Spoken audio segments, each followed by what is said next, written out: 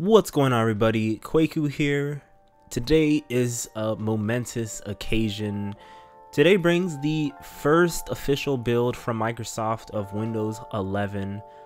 This one is build 22000 or 22000 and with that brings a number of changes, basically a lot of the stuff that came from the whole event last week. And in this video, what I'm to do is, since there's so much to cover, the blog post is so long, I'm to break it up into multiple parts covering the new store in this video and other parts in other uh, videos. So join me in taking a look at the new Microsoft Store of Windows 11.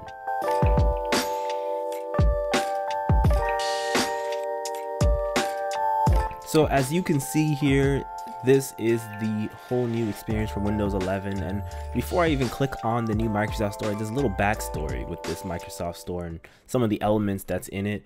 Um, when I restarted my computer when I first installed Windows 11 there was an error that popped up for me and it's been happening for a while now even on Windows 10 that says file explorer error. So it requires me restarting Windows Explorer in the task manager over and over and over again in order to get elements to work. And while that error still exists until it corrects itself, it shows the original start menu and the original uh, file explorer and file and everything. Everything is the original, the original store icon and everything from Windows 10. So it was very strange, but now everything is working fine. So here is the new Microsoft Store. You can see I was searching for Adobe Creative Cloud. It is Microsoft Store Preview. And if you click that, you see this is the new store. And what's interesting looks, it looks like they put a glass kind of look over even this ice road. I don't know if it's because of this logo or if it's in general, but it's a it's a cool thing. Going full screen, you see that animation. It's still, I love it. I love the the animation. You guys can't tell it perfectly, um, but I can just tell you this is running at 120 hertz, and it just is crisp. You guys are probably going to see this in 60 hertz or 60 frames per second. Um, but it just it looks good. It looks pretty pretty good. I have to dive in. So first off the bat, I'm noticing a giant big like banner picture for each one of these tabs here. So you can click and see each one of these tabs. I don't believe Adobe has their stuff integrated into it. Can I use my keyboard? I can in fact using my keyboard so you can hear that um, apps designed for pros you can click that and then even click on that big banner image and it pops up. You can see some apps designed for pros on there. Might even have to pick up adobe i mean affinity designer in a little bit. Um, scrolling some more you can see uh, essential apps and things like that is still showing up like how it used to. It's pretty straightforward. The ratings one thing i do like a lot more and i'm not sure if it was i don't remember exactly if it was in the original windows 10 store but like the Windows 11 Microsoft Store, uh, or at least the one that's current in preview right now, shows your ratings right up front and tells you how many ratings there are. So that's pretty nice. So let's see an example like Netflix. This is the new store page. Um, so when you have store entries, this is how you can view all the information about it. I really do like this this layout so much more. It just looks so much more crisp to me. Um, it kind of reminds me of the Mac OS store, like the Mac the Mac App Store. Uh, when you click on these screenshots, they just pop up. You can use your keyboard or swipe in order to open up and close them. So it's pretty nicely laid out.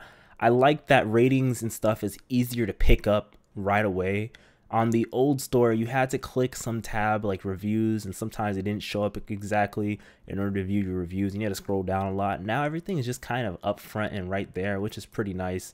You can see there says by clicking install. This is just Netflix's kind of general uh, text that they put in and you can see how many ratings, the official rating, official average, general things. It's it looks good and you can even share it with people. So it it looks good. And then system requirements. Before they used to just tell you system requirements up front and everything like that, like all the system requirements. Now they just have a green check mark. It looks showing like whether or not this is just good to go. So that's pretty dope, I gotta say. And then you you jump down more and it shows you what you actually need for it. Netflix doesn't require much. So that's that's pretty nice looking at this. It it looks I think I can get used to this. Um, and then you got the people also uh, like stuff. So one thing I'm gonna do is look at let's see one of the apps that I've actually looked at before. I don't think Taskbar X was even in the store. I don't remember. Nope, it is. So if I click that, this is Taskbar X. Obviously, I've done a video on it. I just wanted to see how things are with this. You got the features on there, what's new in the version. I like that area. It's a separate area to know what's new. It's kind of annoying when you can't ever find out what's new. Um, obviously, you got your centered search bar.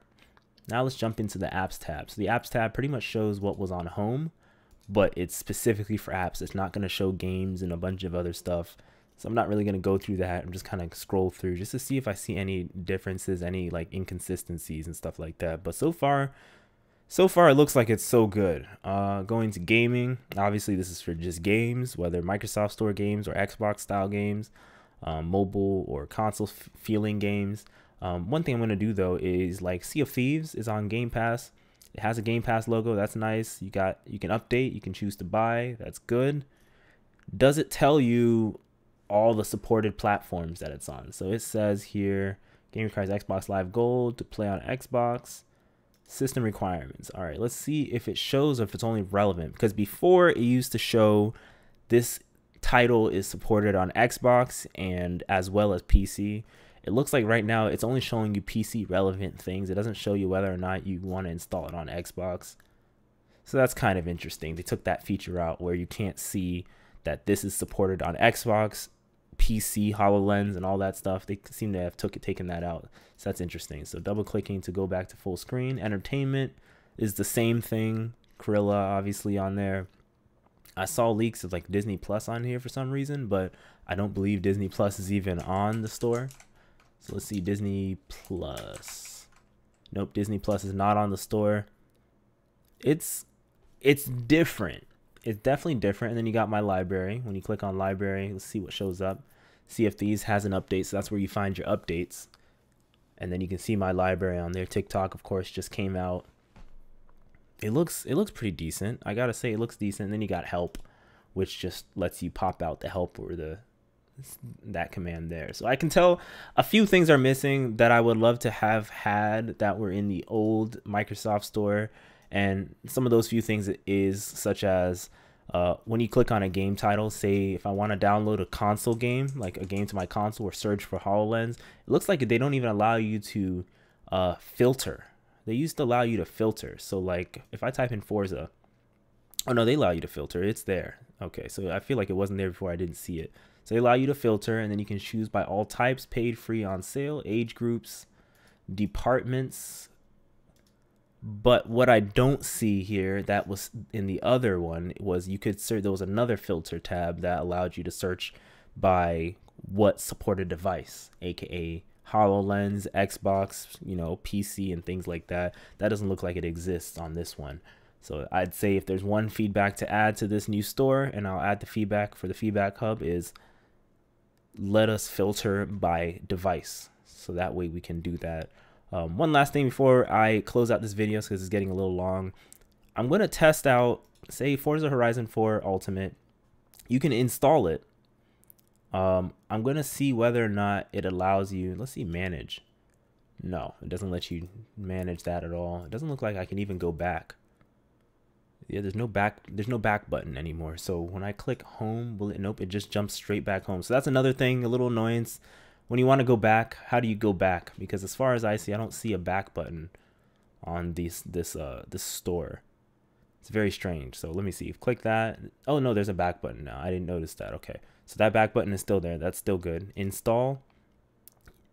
And no it doesn't let you it doesn't let you pick any other um, it doesn't let you pick any other device to install it on. It looks like you can only install it on your current device. That's something they should just change and put back in the feature. So yeah, let's uh let's exit out of that and go back home.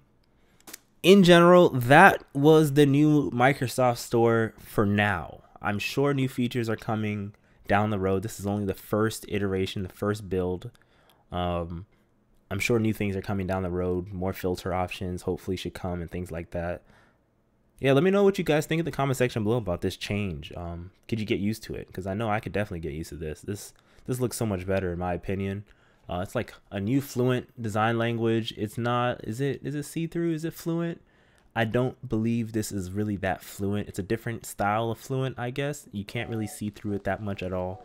But yeah, let me know what you guys think in the comment section below about this. And uh, take care. There's gonna be more videos in this culmination of this first build. There's so many things to cover.